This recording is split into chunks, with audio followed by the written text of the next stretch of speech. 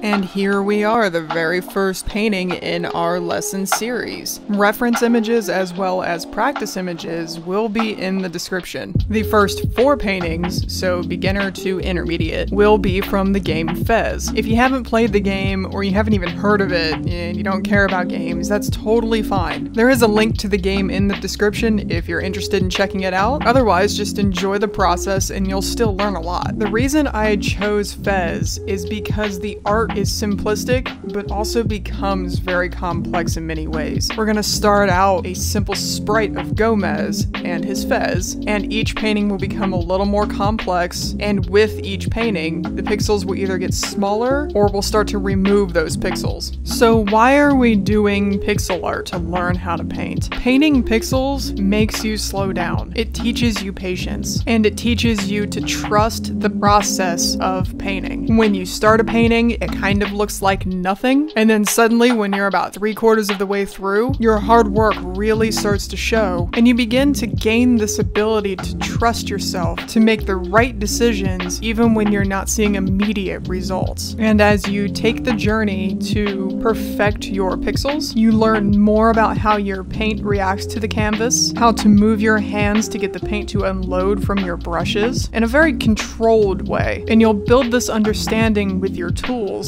that becomes pretty invaluable. Pixel art is an excellent stepping stone to learning how to paint with acrylics. If you did not see the last video on materials, there is a link in the description. Otherwise, let's get started. Remember to take this lesson at your own pace. You can just blow through it the first time and then come back and rewatch it, or you can pause it as you go, whatever is easiest for you. And if you have any further questions, feel free to leave a comment or contact me. So obviously you'll need your paint. For Gomez, you just need white, yellow, black, and red. You will need a ruler, but don't worry, I did the math for you.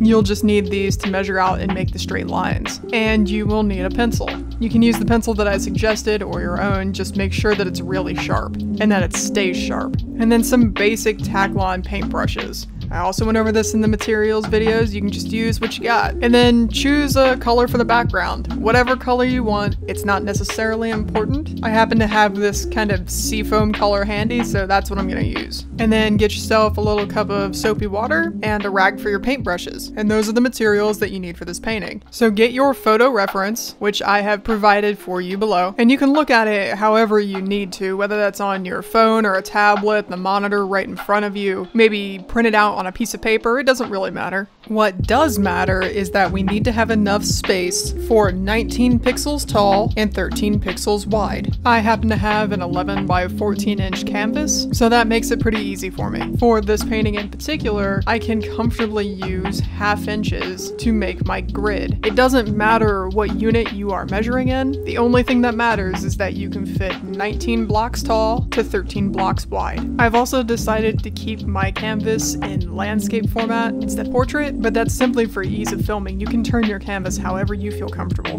So if my canvas is 14 inches wide and 11 inches tall, if I make my grid half inches, then my area becomes 28 by 22, which can comfortably fit a sprite that's 19 blocks high and 13 wide. If you only have a canvas or a surface that's kind of a weird measurement, like this smaller 4 by 4 inch canvas, then you'll need to do just a little bit of math. You can even switch up your unit of measurement to make it a little bit easier if you want or need. So for this small canvas, you could either do eighth inches or half centimeters. But don't let the math scare you away. Either you can look up the conversion, or maybe just ask a friend to help you. This isn't some grade school test where you're gonna get in trouble for cheating.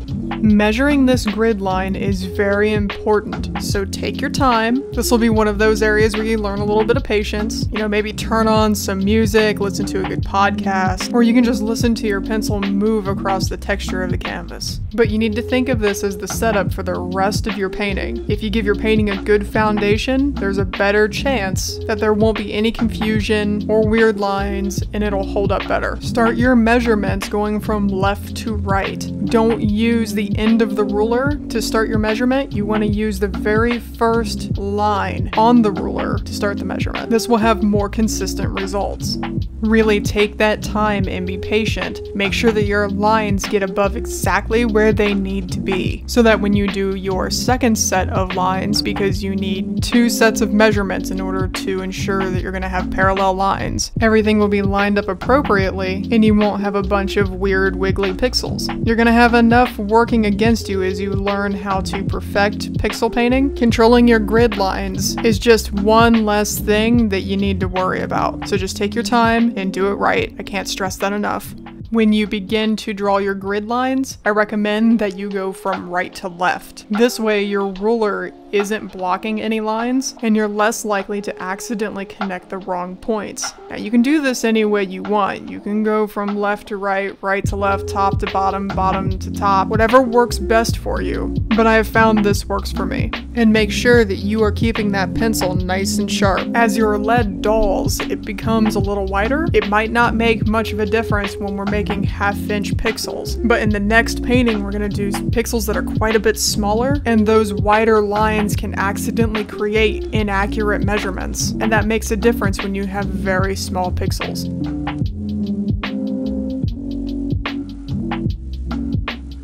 So here I just chose to speed up the footage by about four times instead of skipping along because I want you to see that it is a process. Sometimes when we watch these tutorial videos, they skip around and it kind of gives you the idea that it's a little easier than what it is. And then when you go to try it yourself, you get a little discouraged or impatient. I'll just outright say it, gridding a canvas sucks, but it's necessary. When it's done, it's done and you'll be happy you did it right.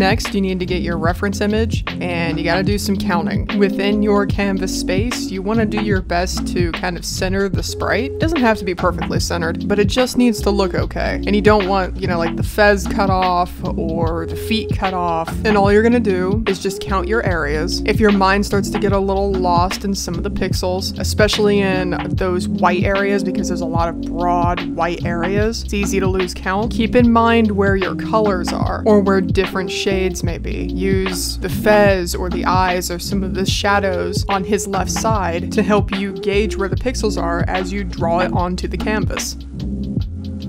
Don't get too out of control with these lines. Make sure you're keeping your pencil sharp. And if you make a mistake, that's okay. That's why we have erasers. More than likely, you're not going to be able to completely erase a mistake, and that's fine. All you need to do is erase what you can. Try not to hurt the integrity of the grid as much as possible. And then go through and redraw how it's supposed to be drawn. Make sure it's a little bit darker. And then when you get paint on the canvas, it'll cover the rest of it. Part of this process is being okay with making mistakes and learning learning how to correct it and move forward with confidence.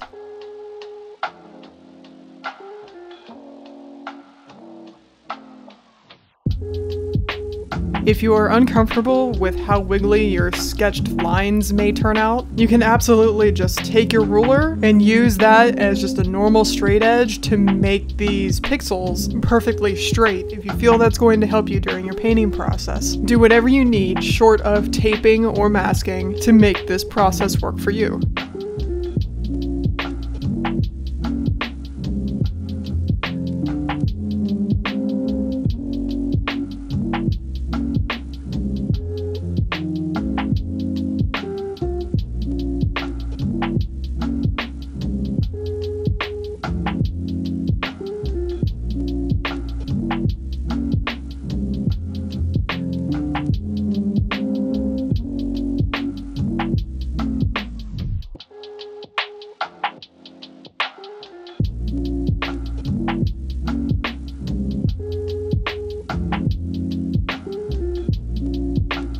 Alright, well now you can get your palette, or whatever it is you're using to hold your paint. I don't know, maybe that's a piece of aluminum foil or a plate or whatever it is that you have. I do recommend that you have some kind of palette with a, with a lid though, but we covered that in the materials video. And I'll start out with my background color, putting that in the largest section because I'll need the most amount of that paint. The red for the fez. Now I'm not doing any kind of precise color matching for this painting. We're sticking to the basics.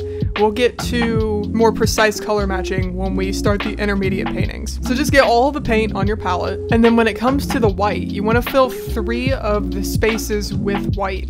That's because we need not only the white, but we also need to create two different types of gray for the shadowing on the one side of the body. Then you want to add a little bit of black to two of those sections of white. You want to add more to one than the other because one needs to be darker than the other. And if this doesn't quite do it, or we need to go back and adjust the colors later, we can do that. And then you need your bottle of water. At least I am going to thin out my paints. I discussed why I prefer very fluid paints in the materials video. We covered viscosity pretty in depth. If you have any further questions about that, please let me know. I'll be happy to clarify whatever I can. So I'm gonna get the water mixed up in this really well. I'm not worried about adding any kind of additives to this. For certain paintings, sometimes I would add something like GAC 800, but for this in particular, just adding water to it, and making sure that each color is very well mixed and thinned out evenly. This is the point where you start to learn about your paint. You begin to build that relationship with your tools. And I know that might sound a little funny, but it's true. You depend on your tools and you need to be able to understand how your tools are going to respond in different situations. Or if you add things to your paint, or how paint of a particular viscosity will drip from your brush, or unload from your brush. How to move your brush to get straight lines, or how to move your brush to blend colors appropriately. Even though that's not something that we're going to cover in this painting. That will be in the future though.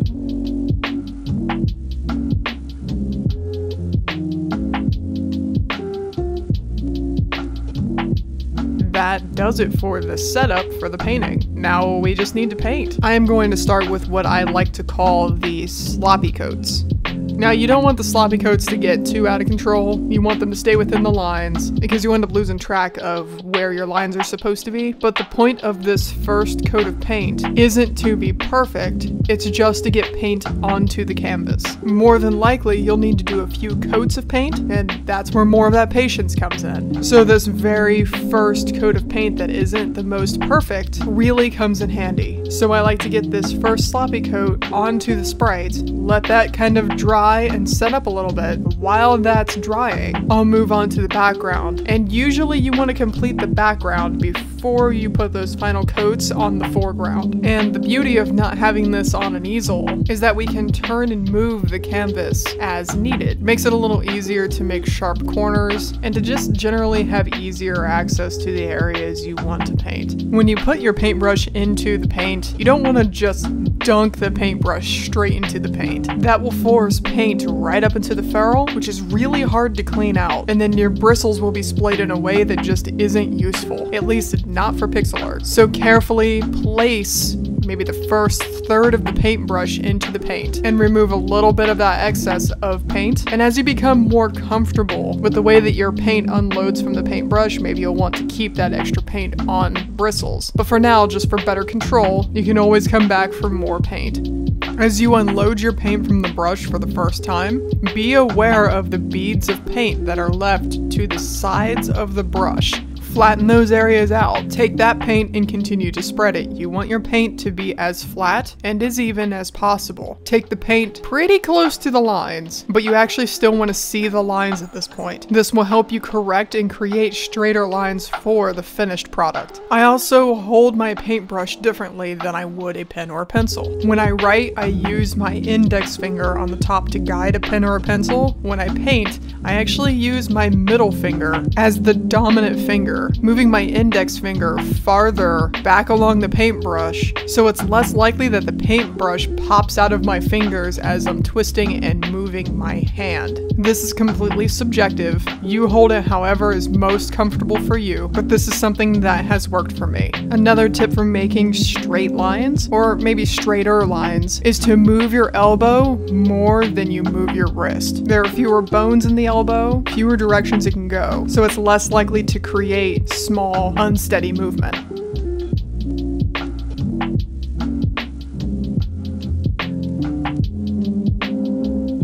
When you get close to those lines, just be patient and take your time. Try not to get frustrated if you go out of the lines or you make any kind of mistake or drop paint somewhere you're not supposed to. Just make sure that your paint is completely flat and don't be afraid to kind of wipe away mistakes, like if you have a paint drip or a beaded line of paint from the side of the paintbrush that gets pushed over the line as you're trying to flatten it out. Sometimes that'll happen. When you do try to wipe it off, it may leave a bit of a stain underneath that's perfectly fine. All you need to be able to see are the lines underneath, and then down the road, other paint will come and cover up that mistake. Just breathe and be patient with yourself. And if your paint isn't covering as fully as mine, don't be discouraged by that. Probably just have different paint. If you need to make multiple layers of that paint for it to have full coverage, then just do that. It's not a big deal. You take as many layers as you need until you feel good about the painting.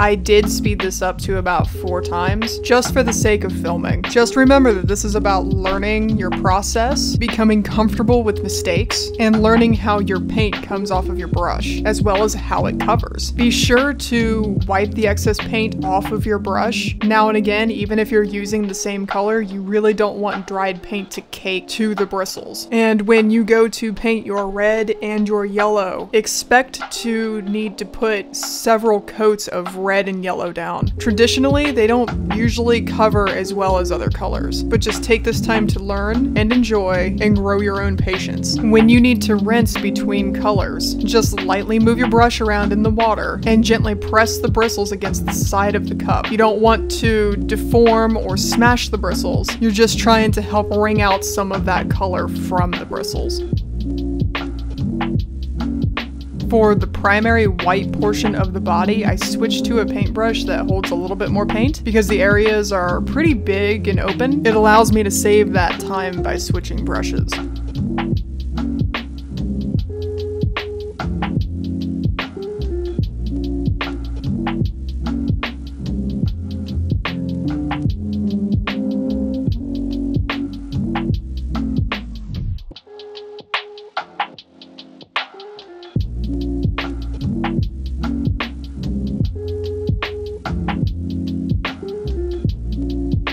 Because I work with very fluid paint, any thicker wet areas that you see will dry flat so that's pretty nice. But now that we have that first coat of paint on Gomez, we need to get a little bit of paint on the background. Now I'm not going to paint the entire canvas. You're you're welcome to paint it all and make it as pretty and detailed as you want for the background. But my goal here is to show you how to use background paint as a way to frame your subject and to help you correct any mistakes that may have been made. You do not have to paint as quickly as I am. You take all the time that you need to get comfortable with your paint and your paintbrush you'll notice that I'm not taking this paint right up to the line. I'm still giving that line a little bit of space, but this is what I would consider the sloppy coat on the background. Just getting that first layer of paint down and trying to be mindful of the lines that create the pixels.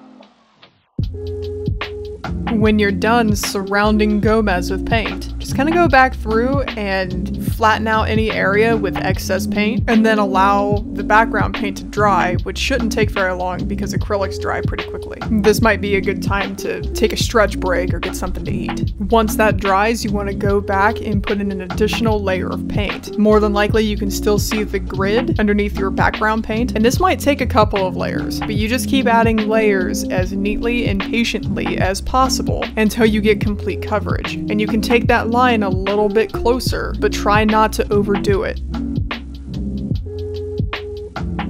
Now we're really starting to make some progress. Clearly we need to work on the inside and get some more layers on those pixels. The red is also going to take several layers, but you know, I already mentioned that before. I am also going to take this opportunity to lighten up both grays. I think they're too dark, and I'll do that just by adding a little bit of white to both. This is a good time to make any kind of color corrections that you may want. Though like I said before, precise color matching isn't really the goal of this painting. But if you want to take that extra step, you go right ahead. And because that red is going to take several layers, I'm going to go ahead and just put another layer on that and the yellow. Don't stress too much if your lines aren't perfectly straight. Do your best to keep them straight, but know that all of your lines can be corrected. The back and forth process of correcting lines helps us to determine and recognize mistakes and face the fear of needing to correct them and moving on with our paintings.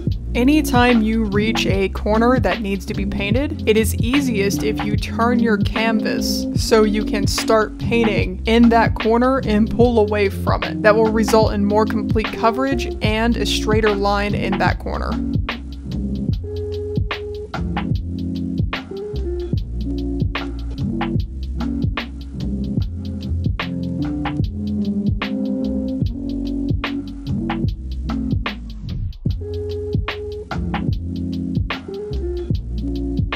And again, don't be afraid to go back and forth with those colors until you get nice, crisp, and straight lines. Taking that extra time to correct yourself is how you get better.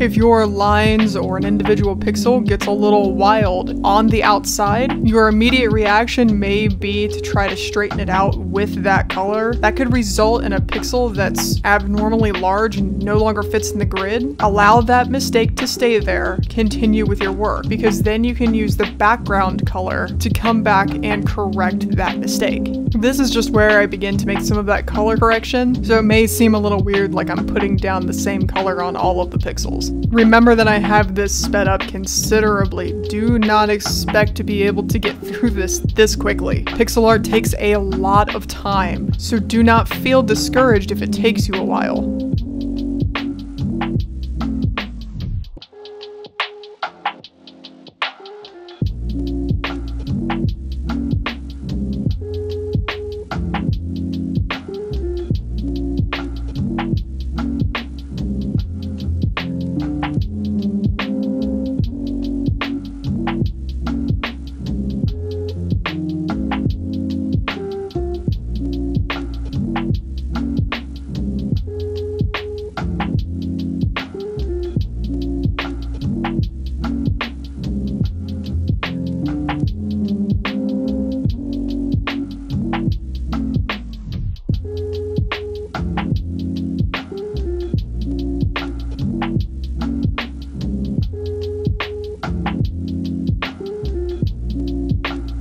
Once you get all of that filled in pretty well, we're gonna move to the smaller brushes. This is going to help to correct all the, the lines, little things that you can't do with those larger brushes. And that smaller detail brush on the right is what I'll use to really correct a lot of corners or tiny areas that I can't seem to get just right with that flat edge brush. As you're making your corrections with that smaller flat brush, your canvas should be turning around quite a bit. You should have a little bit more freedom to make confident corrections with this brush. If you can't seem to get it perfect, just do the very best that you can. Again, don't be afraid to go back and forth with different colors, correcting things. That's how you learn. But also know that we're gonna go back into it with the detail brush to make further and more precise corrections.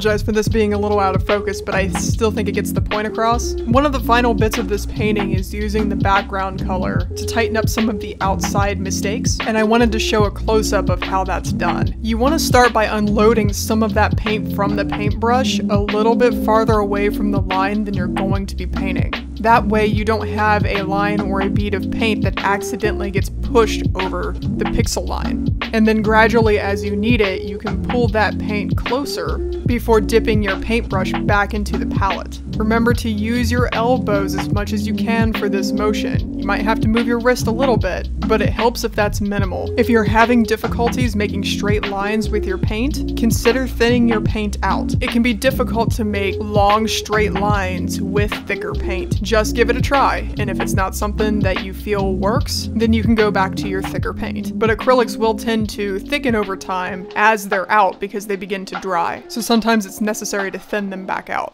At this point, you're in the home stretch, and you should start to feel pretty good about where you are in the If not, that's okay. You can either go back and continue to correct some of your pixels, or just accept that it's a learning experience and trust that you'll get better over time. Either way is perfectly fine, and it's all about what you want to get out of these lessons and what you hope to accomplish with acrylic paint. So at this point in the painting, just take the time to relax and feel good about these little details that you're correcting. This is all about your journey.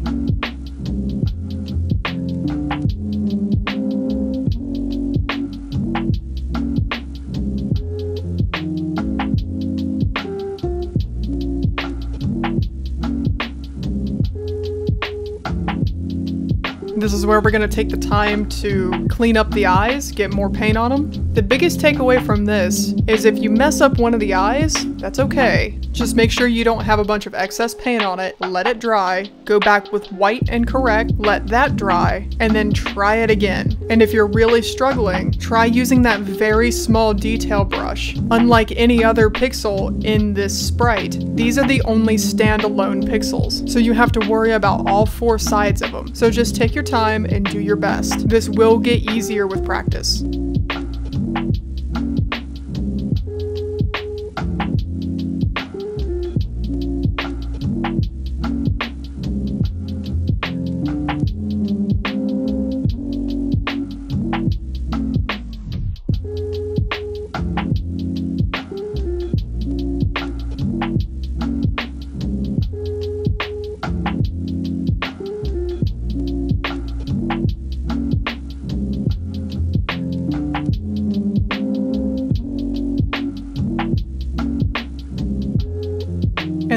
Finish this, I'm just going over the white in some areas, and then I'll take that small detail brush and make a couple of corrections. You can go as far with this as you want. Just be sure that you're doing it freehand. Don't use any straight edges, masking tape, anything like that. If it looks a little wiggly, but you did your best, that's all you can ask of yourself. Just keep practicing and it will get easier. Down in the description, I'll have a link for you with several sprites that you can practice with. They'll be along the same difficulty as this. And then next week, we're gonna shrink these pixels down, add a little bit of scenery, introduce a tiny bit of color blending, but it's all still pixelated. If you wanna keep following along with the series, you're welcome to subscribe to the channel. You can leave any questions or comments below, or you can just contact me on Twitter. But we're not quite done yet. One of the most important parts of this process is cleaning your paintbrushes the moment you are done with your painting. Don't procrastinate, don't wait, and definitely do not just throw your brushes into a cup of water and let them set there. It will ruin them. If you get to the point where you have a bunch of dirty, dried, and paint caked paintbrushes like this, that's a problem. You don't want to ruin your brushes, as well as not have a brush handy when you need it. If you kept your brushes clean along the way, you might not need any more than just a little bit of soap and water, but if they're in rough shape, you can grab one of the two brush cleaners that I listed in the materials video to clean them up as best as you can to get them ready for your next painting. Remember that the longer they set, the harder they will be to clean and the more likely you are to accidentally ruin them. For this natural brush cleaner, it's to take a little bit more work, but if natural is your priority, this is the way to go. Carefully dip your brush into the cleaner, make sure that it's mixed up properly beforehand, and then work it into the bristles. Do not smash your bristles. Let it set there for a little while, and then run it under water, gently agitating the brush against your palm or another surface to work the paint loose. If it doesn't do it the first time around, then just put a little bit more on there and try it again.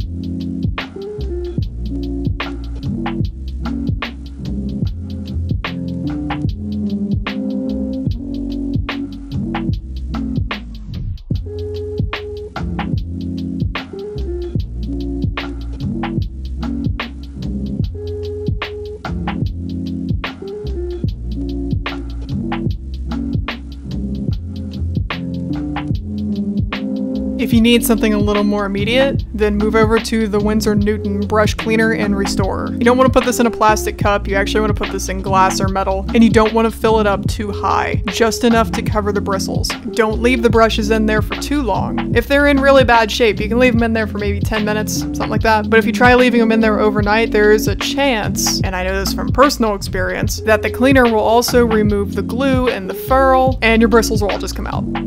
so don't do that. First, you never want to just dump a bunch of chemicals down your drain, but it is safe to rinse your brushes, particularly if you have a public source of water, because everything is safely diluted and purified. And importantly, you want to have some kind of screen to put over your drain. You don't want paint particles going into the water, or your pipes for that matter. After a couple of minutes, you'll notice that the paintbrushes start to break free, and if you carefully push them, that'll allow more of the cleaner to get between those bristles. Now these are pretty caked on and dried, your paintbrushes shouldn't be in this shape, but if they are, this will help. Put a bit of soap into the palm of your hand and carefully agitate your brush to remove the cleaner and any bits of paint that remain. You may need to take your nail across some of the bristles to get stuff that's really stuck in there, but the process shouldn't be too painful. If anything, this might convince you to wash your brushes immediately after use. Then all you need to do is give your brushes a good rinse, set them upright, or hang them to dry, but you can also carefully lay them out